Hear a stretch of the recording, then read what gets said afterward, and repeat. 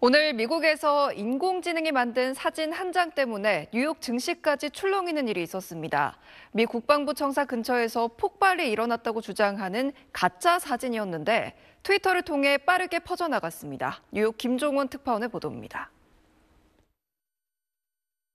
미국 국방부 펜타곤 현지 시간 오늘 아침 폭발이 일어났다는 설명과 함께 시커먼 연기가 치솟는 사진 한 장이 트위터에 올라왔습니다. 이 게시글을 처음 올린 트위터 계정은 트위터 본사가 믿을 만한 계정이라며 공식 인증한 이른바 파란색 체크마크가 찍혀 있었고 해당 게시물은 빠르게 퍼져나갔습니다.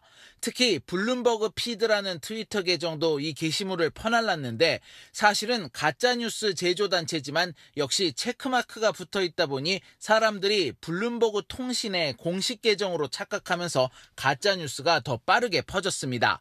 심지어 러시아와 인도 언론까지 해당 뉴스를 긴급 속보 로 전했습니다. 충격적인 소식에 불안감이 퍼지면서 오전 한때 주가가 일시적으로 하락하는 등 뉴욕 증시까지 출렁였습니다. 하지만 펜타곤 관할 소방서에서 폭발과 관련된 사건이 없다고 밝히면서 해당 사진은 AI가 합성해낸 가짜임이 밝혀졌습니다. There was no explosion at the Pentagon, however.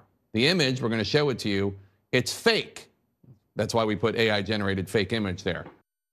가짜뉴스의 진원지가 된 다수의 트위터 계정이 머스크 인수 후 새 정책에 따라 유료로 체크마크를 구매한 곳으로 밝혀지면서 머스크가 재단장한 트위터가 곤욕을 치르고 있습니다.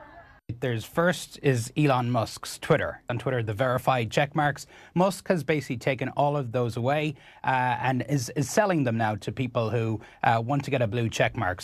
한편 펜타곤 폭발 가짜 사진 소동 직후 백악관에 불이 났다는 합성 사진이 SNS에 올라왔지만 이 사진은 건물이 백악관과 전혀 닮지 않아 확산하지 않았습니다. 뉴욕에서 SBS 김종원입니다.